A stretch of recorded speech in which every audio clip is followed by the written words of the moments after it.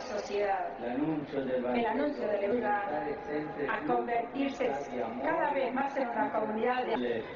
Buongiorno. Queridos hermanos y hermanas,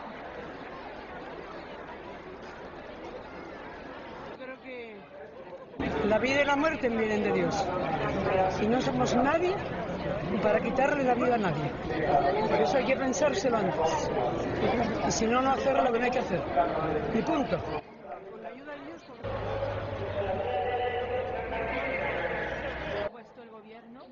Yo de política no te voy a hablar ni me preguntes. Yo sí te hablo personalmente en mi experiencia de cristiano soy. No estoy a favor del aborto. ¿no?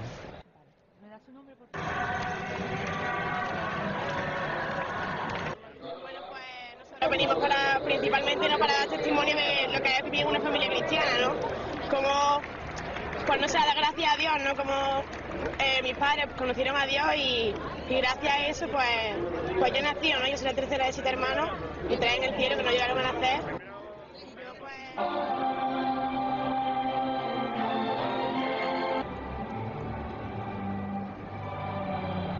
Y yo, Hijo y del Espíritu Santo.